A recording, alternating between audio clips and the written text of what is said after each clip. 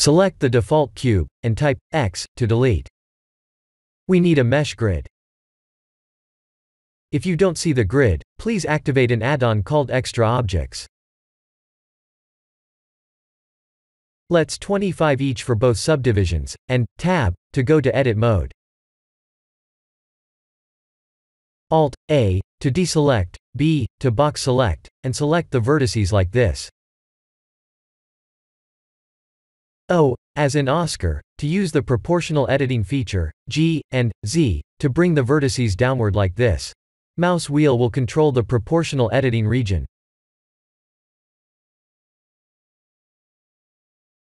Let's select the vertices from this side, and do the same thing.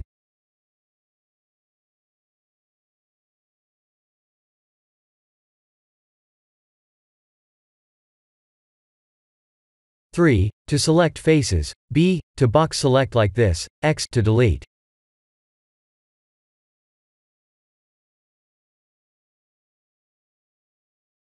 How are we going to go about making a perfectly smooth transition to fill the missing faces? Notice how each end of the edges are angled, and it would be difficult to make a good fill in this scenario. This is what usually happens when we select both edge loops and F to fill.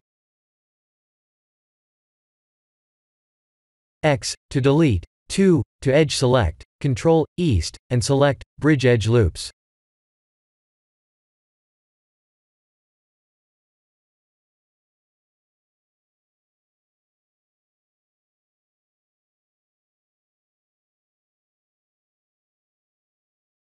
Please match my settings.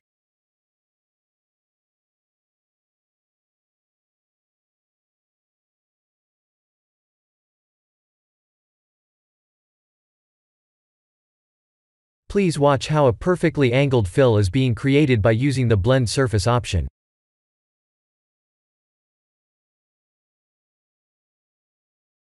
This is how we create a perfectly smooth bridge edge loops in Blender.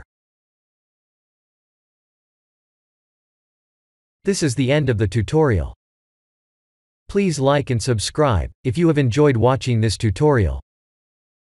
Thank you for watching.